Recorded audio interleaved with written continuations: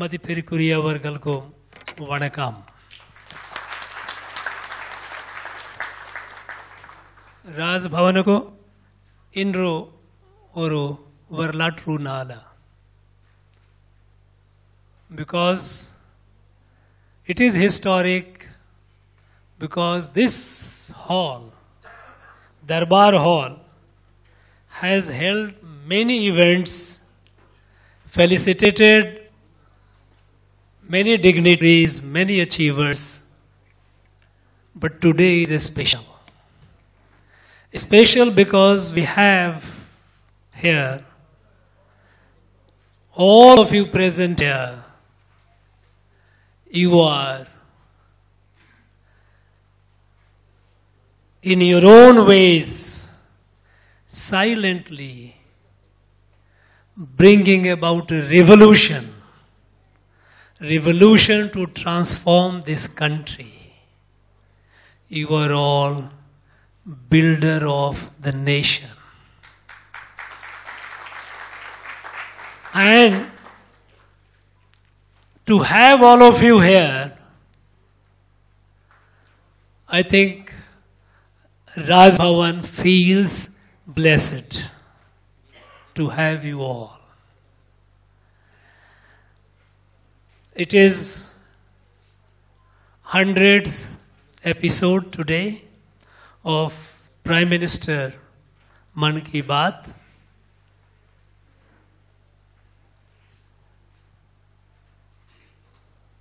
In the last 100 episodes, think of how it has transformed and how it is transforming the country. The first of all, the one special, unique thing about this entire series of Man Ki Baat is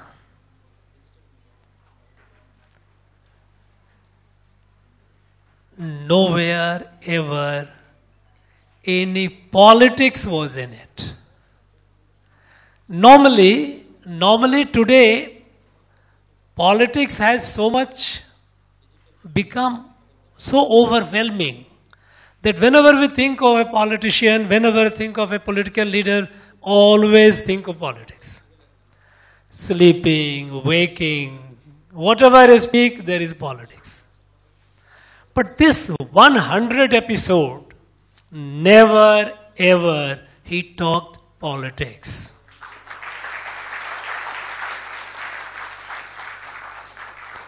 What did he do? He connected with the people and started talking about common people, unknown, unsung people, those who are doing incredible things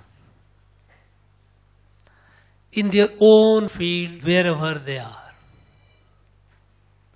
Many of you are here present today.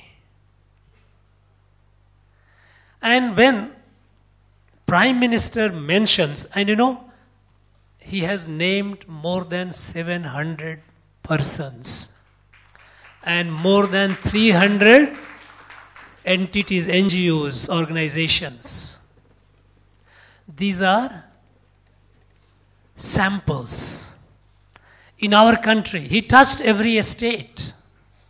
And I think if you go by the number of references that he has made, Tamil Nadu, he mentioned perhaps the maximum.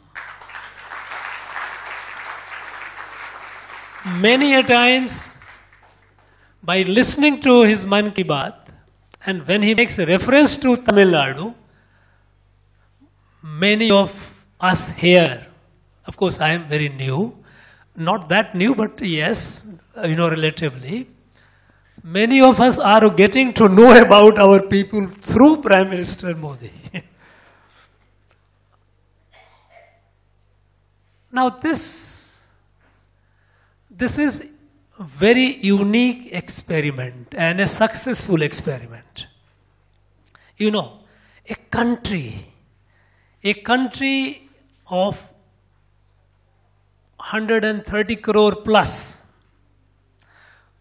As the prediction goes that by this year we will be the country with the largest population in the world, we will overtake China. now, such a country, it cannot grow, it cannot be built by the government or government alone. Government has limited capacity. In fact, before the idea of modern state came, Samaj, the society used to look after itself. Kings had very limited role to play. It was the society, the people who looked after themselves. Unfortunately, with the coming of modern state, we all developed a tendency to look up to government for everything. In the process, the strength of the society, the strength of the people, people started forgetting. And a dependency syndrome developed. Dependency. Government is not doing this, government is not doing that, government must do that. Now, any government, whichever government, whichever party, however well meaning, government has huge limitation. The country can be built if the people of the country, they wake up. They, you know, imagine the strength, the potential. We have amidst us so many of you, and some of you came and shared your experience. Take the case of this little girl, Prasiddhi. Now, she's hardly 10 years. Imagine one lakh trees. Now, one lakh is not a small number. It's a, it, it shows the resolve. First, a cause. Cause, a larger cause to save this planet Earth, Mother Earth. We know what kind of problem we are all going to face the world is going to face. And we also know that how it can be addressed, but somebody has to take forward, a step forward. Now, this little girl took the initiative to plant trees, and she has crossed one lakh. Now, this is a remarkable work. Now, take the case of Vaikom Vijayalakshmi. Visually impaired, normally she would have been considered as a liability, what pity, object of pity? No, she challenged. And she developed excellence in handling rare instruments, rare musical instruments.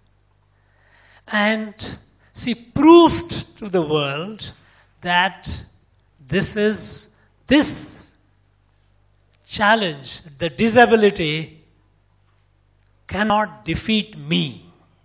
And it is a great inspiration to all.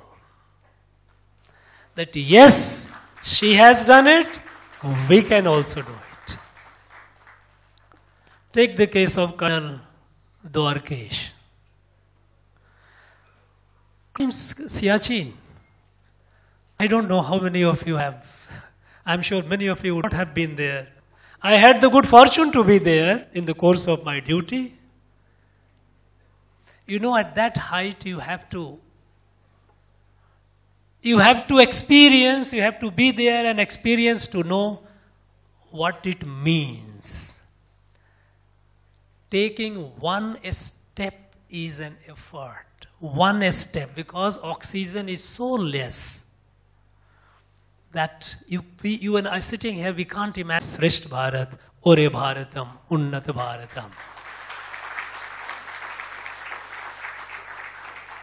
I thank this, our friend Anna Durai and his team, Doordarshan, All India Radio, Sudarshan ji, who has been comparing many people mm, identify him with Prime Minister Modi. you know, the way he, I mean, I have yet to see a, a person who is equal to him in translating. Equal not only in language, the way he modulates his body language altogether. Thank you very much. And thank you for and thank you for making anchoring the event today. Thank you very much. Friends, I wish all of you all the very best. And I must say that this today we have a time constraint. We have we had an event, and I did not spend time, and I I really I um, I regret that. But I assure you that in coming weeks and months, I will be individually calling each one of you, inviting to spend more time with you because I need to learn more from you. It is, it is just not. Today we have celebrated the event, 100th episode of Man Ki Baat, but our engagement, our interaction remains incomplete. We will do it in coming weeks, coming months one by one, one group by one group, one individual by one individual will call, and we will spend time. Thank you very much. Wish you all the very best. Jai Hind.